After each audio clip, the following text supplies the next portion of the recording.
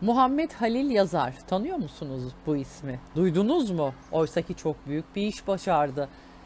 Ama bu delikanlıyı LGS'de 494 puan alan Elazığlı çobanlık yapan, keçi çobanlığı yapan bu çocuğu bilmiyor bizim gençler. Aleyna Tilki tanıyorsunuz değil mi?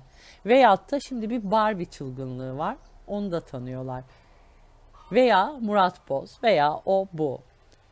Bir sürü gencimiz var. Bilimsel anlamda işte böyle fen bilimleri anlamında yani gerçek başarı anlamında bir sürü gencimiz var ama bunların adını gençlik çoğu bilmiyor.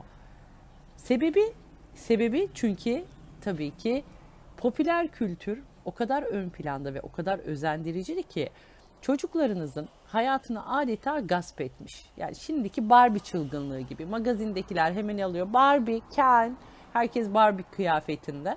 Halbuki bu Barbie oyuncaklarının bilinçaltında çocuklara zengin, ihtişamlı hayatı yerleştirdiğini ve ileride büyüdükleri zaman hep ona özendiren bir algıyı çocukların o küçücük beyinlerine yerleştirdiğini psikologlar, psikiyatristler söylüyor ama anneler öyle değil tabii. Anneler ne yapıyor babalar?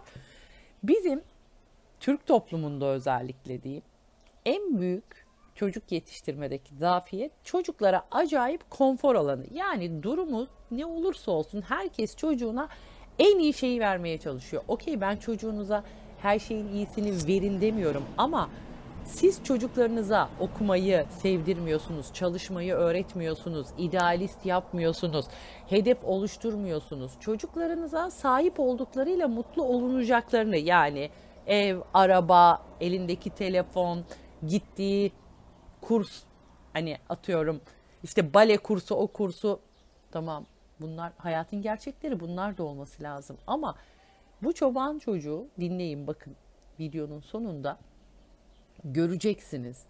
Bu çocuk diyor ki başka şansım yoktu. Şimdi belki maddi durumu iyi olan ailelerin hepsini katmıyorum tabii ama genel sorunumuz bu. Aileleri çocuklarına bir diploma aldırıyorlar. Özel okullar veya devlet okulu fark etmez ama çocuğunun idealist ruhunu, mücadeleci ruhunu vermediği zaman, çocuğuna çalışmayı öğretmediği zaman bak bu çocuk ileride ya siyaseten ya özel sektörde ya devlette girecek bir şeyler olacak. Sonra bu çocuğu beğenmiyor biliyor musun? Eziklik duyuyor karşısında. Niye? İşte ben şu okulu bitirdim, şu bilmem ne üniversiteyi bilmem ne şunu bitirdim. Bu çocuk diyor ki çalışmaktan başka şansım yok, başarmaktan başka. Çocuklarınıza o kadar geniş konfor alanları oluşturuyorsunuz ki çocuk niye çıksın ki o konfor alanından? İnsan niye çıksın konfordan da bir ama çocuk küçüklükten itibaren orantılı şekilde imkan sunarsanız ve çocuğa bir şeyi başarmayı öğretirseniz ve o başarmanın ne anlama geldiğini öğrenirseniz çocuk sorumluluk sahibi olur. Çoğu aile şu anda çocuklarını diploma sahibi yapıyor ama sorumluluk sahibi yapmıyor. Sorun bu. Ondan sonra çocuklar diploma almış ama çalışmayı bilmiyorlar, çalışmıyorlar. Çalışsalar orada başarılı olamıyorlar, komplekse giriyorlar. Çünkü girdiği yerde pop poflanmayı bekliyorlar. Hiç kimse sizi pop poflamaz kusura bakmayın. Sonra çocuğa bir iş açıyor parası varsa o işi de çocuk yapıyor ya da yapamıyor, batırıyor ya da batıramıyor fark etmez ama netice itibariyle çocuklarınıza küçük yaştan itibaren sistemli bir şekilde disiplinli olmayı çok vermeyeceksiniz. Ödüllendireceksiniz. Bir şeye sahip olmanın değerini öğreteceksiniz. Pahalı mı değerli mi?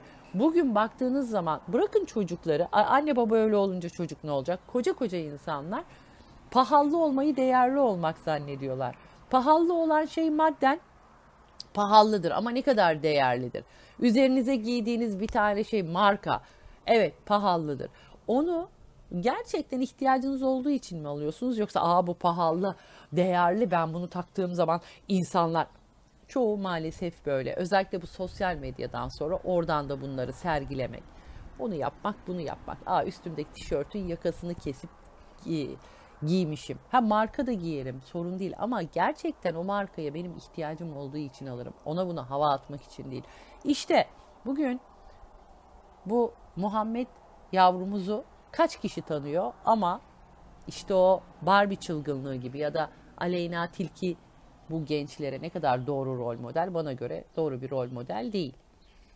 Ama onu gençler daha çok tanıyor. Muhammed'i kaç kişi tanıyor veya bir sürü sporcumuz var, kız çocuğumuz var. Karate'de, tekvandoda, yüzmede değil mi? Kim tanıyor? Mesela basketbol milli takımımız. Bayan şampiyon oldu biliyorsunuz Ebrar Karakurt'un söylemleri. Oysa ki o şampiyonluk tüm bayan e, kızlarımızın milli takımında ama Ebrar Karakurt aldı onu magazinleştirdi. Özel hayatı, cinsel tercihlerini ortaya koyarak o şampiyonluğu maalesef e, doğru e, lanse edemedi. İşte efendim dedim ya çocuklarınız istediğiniz gibi olmaz. Siz nasıl yetiştirirseniz öyle olur. İşte siz Muhammed gibi çocuklarınız olsun istiyorsunuz ama onlara e, olmamaları için bütün şartları oluşturuyorsunuz, zeminleri oluşturuyorsunuz. E o çocuk nasıl olacak? Olmaz. İstediğiniz Muhammed gibi başarılı, zeki çocuklar ama veyahut da işte bir arkadaşınızın oğlu kızı gibi ama onu yetiştirme şekliniz öyle olmadığı zaman olmuyor. Siz elma ağacından armut bekleyemezsiniz. Veyahut da ağaç ektiniz onu sulamanız lazım. Doğru sulamanız lazım. Güneşte sulamamanız lazım. Fazla gübre vermemeniz lazım. E siz her şeyi olması gerektiği, olmasını istediğiniz gibi yetiştirmiyorsunuz. Sonra niye böyle olmadı? Niye olsun? Oturup kendinize bakın. O yüzden ben bu ülkeyi Muhammed ve onun benzeri gençler için çok büyük bir değer olduğunu düşünüyorum. Onları ön plana çıkaralım. Ama işte maalesef popüler kültür o bu zehirlediler. Şimdi bunun kıvranması içindeyiz ama çoğu insan farkında bile değil. İnşallah fark ederiz. Hadi bakalım görüşmek üzere. İzleyin Muhammed. 94 puan aldım. Bir yanlışım var. O da fenden. O soru aslında kolaydı ama ben çok da dikkat etmedim.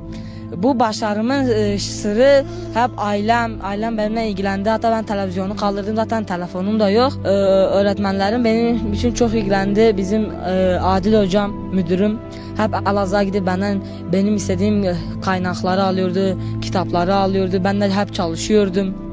Keçileri sürdükten sonra ben keçilerin arkasında çalışıyordum. Onları mesela bir yere daha otlaklık alanlarına götürdükten sonra onlar zaten kendi başlarına otluyorlar. Ben de bir taşın altına gölgelik bir yere geçtikten sonra çalışıyordum kendi kendime ve böylece kazandım. Keçi e, ondan sonra keçi sağlıktan sonra yine akşam akşam süt içtikten sonra da e, bir kitap okuyup yatıyorduk. İşte biz böyle çalıştık. Biz de zaten bu hayatı bu zorluğu gördüğümüz için e, tek çaremiz okumak.